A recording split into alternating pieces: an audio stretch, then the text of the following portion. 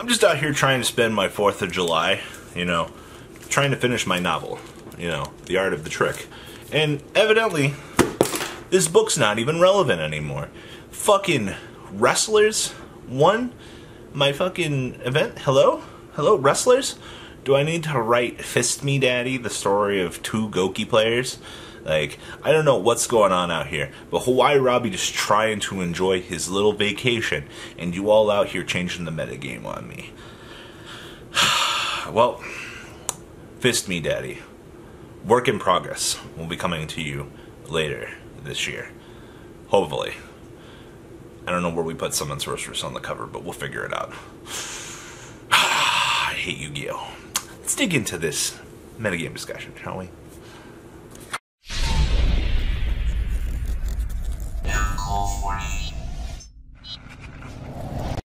Hawaii Robbie's supposed to be vibrant, lovely, but we have to do a metagame discussion.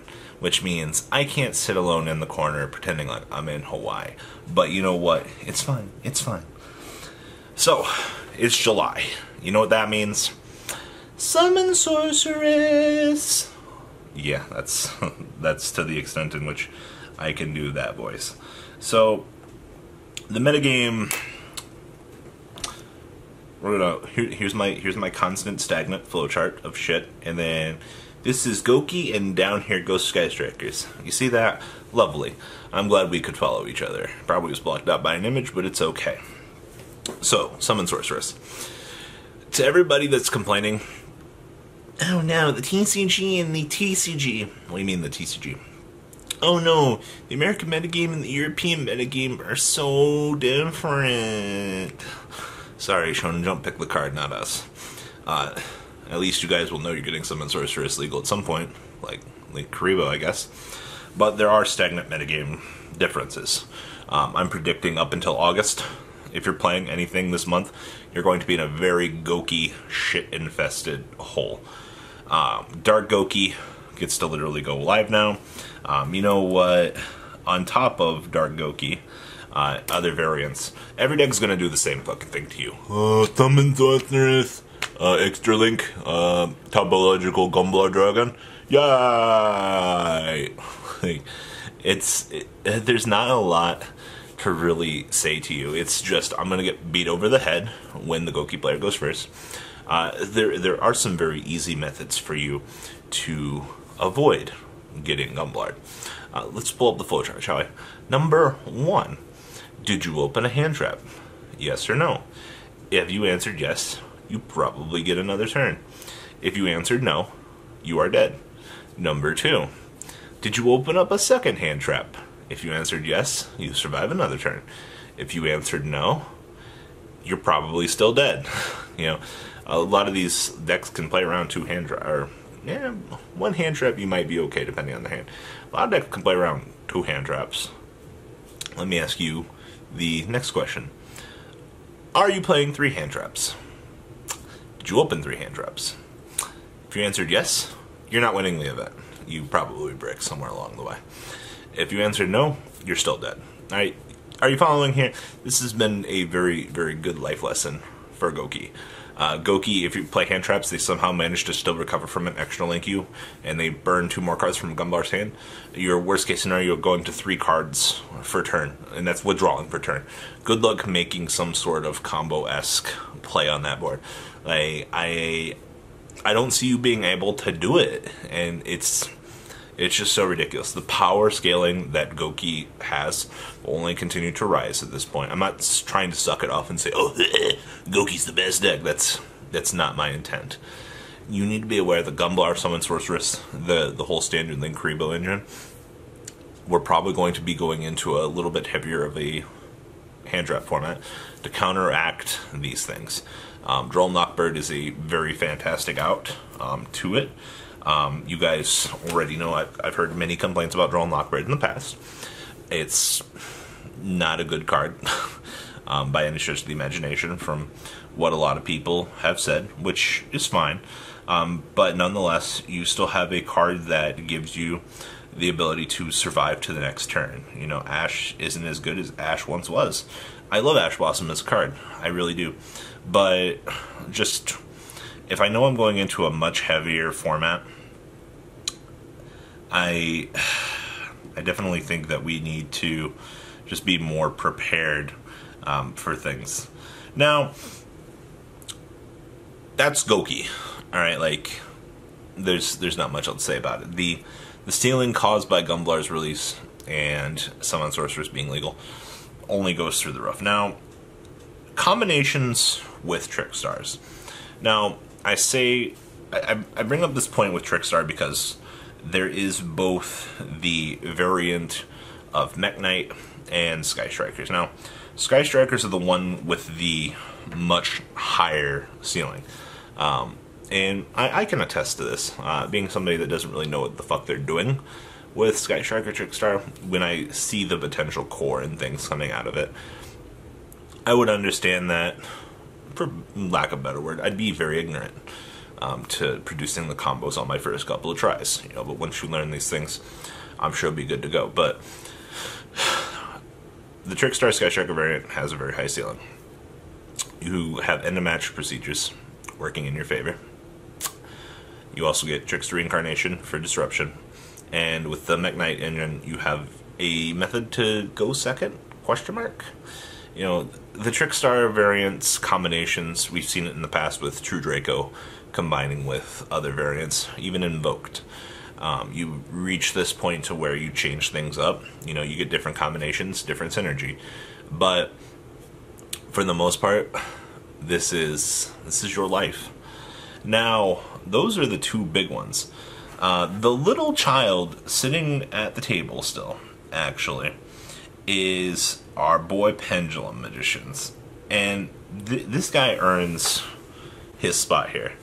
So he went all the way. He was the lone pendulum player. He sat there and he rode all the way to the top. I believe there's also another top eight um, pendulum magician player in WCQ in South America this weekend, actually. Out of nowhere. Well, we knew it was there. I've been I've been touching on this a little bit. Pendulum magicians, like they're dead. It just took somebody a little bit of time to come up with a list that actually works, and we've actually seen, you know, success with this, and that's awesome. Do you know how long we've been waiting for Pendulum Magicians to come back? You know, to those of you that believed in the deck, I was not one of the believers, so you know, I I knew in the back of my mind that Chronograph was a good card, but like I didn't put much more with it. Besides, you know, like dinosaurs, but you know, congratulations, Pendulum players, you got success here. You know, take advantage of it. Now, the rest of Top Cut from this weekend, it's pretty much what we've we've known.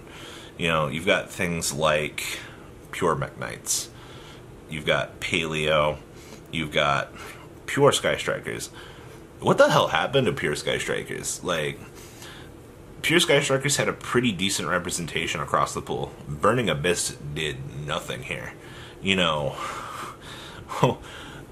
differences in metagames 17 players or 1700 players you have different mentalities across these metagames i think it's very important that people understand these you know especially in the case of burning abyss you have a fantastic wizard um, you have somebody that's cordially very good with the deck they know what they're doing they know the key plays they've played the deck for a long time they're a connoisseur per se um, you you have that here in the TCG, but on different levels. You know, Calvin Tahan with the ABCs and so forth. But for the most part, the deck was not successful here. Can't really say I'm surprised, but Pendulum Magicians and Gouki. Well, we're also in a much heavier Gouki format than the rest of the world is.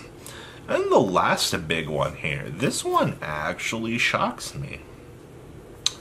There were two Spiral Sky Striker. Two. Let that sink in for a moment. Two. So I've seen I've seen a little bit of this list, um, kind of coming out of the woodwork a little bit, um, and I was, um, it doesn't surprise me actually. Is that wrong. Uh, I've seen a lot of people trying to play the hybrids, um, additional starter capabilities with drones, and it actually looks like it decently worked out, and I can appreciate that. Um, Though I, I will still, I will still, yeah, still continue to say that Gouki Sky Strikers, or Goukis and Spirals are essentially still the same deck. You produce an extra link, you try to basically drown out the opponent's deck, not allow them to play the game, basically. Both decks do the same thing fundamentally, but unfortunately, Spirals are much worse at their game plan. You know, Sleepy Boy is a good alternative to Gumblar. It's just you're destroying stuff as it hits the field, basically, instead of disrupting it from the hand. But both decks have their own quirks, don't get me wrong. They're both extremely cute in what they want to do. But the the game plan, it, it's still the same. Produce extra link, go! But the metagame is shifting in favor of Goukis right now. Um, do be aware that if you are playing competitive, we have officially gone one step more degenerate. Yay! Altergeist was nowhere to be seen at the top 32 in the WCQ. Altergeist have long since we, we know they're a good deck. Don't get me wrong, but the further away that that deck goes from a potential ban list, just you stay over there in the corner for when we need you in another dark time, Altergeist. That's what we are hoping for. Like, as long as they continue to sit in the corner with Spiral and Mermails in the tier 2 column, they will get their chance to come back. And I think it's very important to understand this. Um, also, shout out to the guy that played Zodiac. Um, I saw him posting in um, Zodiac he was saying that he got enough. He did one of those like was a thousand likes, five hundred likes, and he will play the deck. He lost on the bubble for the chance, I believe, to day two. That is spectacular, and I got to give it to him, man. You know, taking Pure Zoo to the WCQ that's impressive, and you definitely deserve the shout out.